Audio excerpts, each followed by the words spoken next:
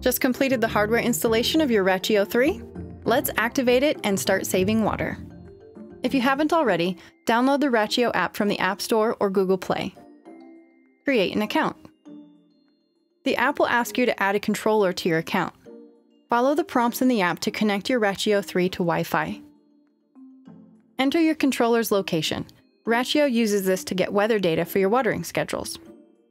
Next, scan the barcode on your controller with your phone's camera. Be sure your smartphone is connected to the same Wi-Fi network you want to connect your controller to. When the light bar looks like this, your Rachio 3 is ready for Wi-Fi setup. Light 2 turns solid when the controller connects to your Wi-Fi network. Light 3 turns solid when the controller connects to Rachio's servers.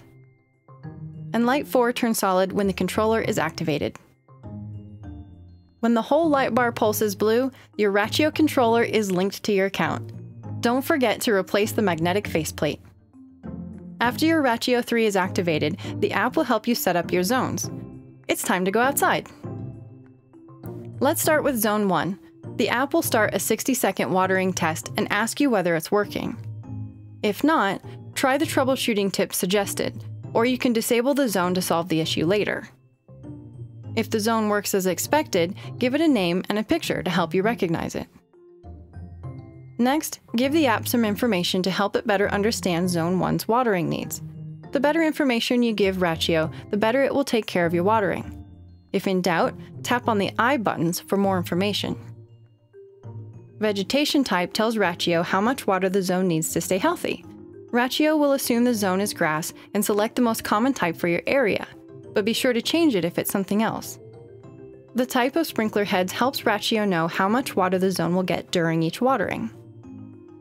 Soil type tells Rachio how much water is available to the plant's roots between watering.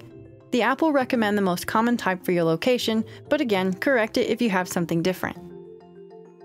Is the zone on the sunny or shady side of the house? Rachio will reduce watering for zones with more shade. Finally, Slope helps Rachio determine if it needs to break up your watering cycles into shorter durations to avoid runoff. Go through the same process for every zone. Remember to disable zones you're not using to avoid including them in watering schedules. You can always enable them later.